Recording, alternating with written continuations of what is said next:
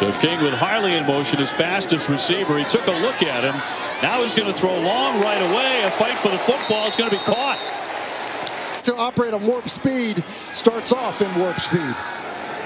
Quickly picking up first down. Now he's going for the long ball. He has a man open immediately in the end zone. It's Harley for the touchdown, and that took about eight seconds. And Miami is on the board. That goes for 43 yards and a touchdown.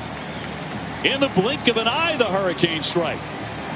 Does cover so much space because of his length at six foot seven.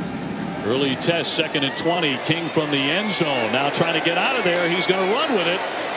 He's going to tuck it, getting to the 20, looking for that first down. Takes a pretty good hit by Grant, but he got close.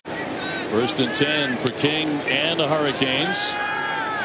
Back to throw, fires right over the middle. He loves to go to that tight end, complete, and a big gain after the catch as well by Will Mallory They are Missing Brevin Jordan tonight, Tim, but not making much difference. That goes for 26. I think it's a cheap shot. It's a runaway.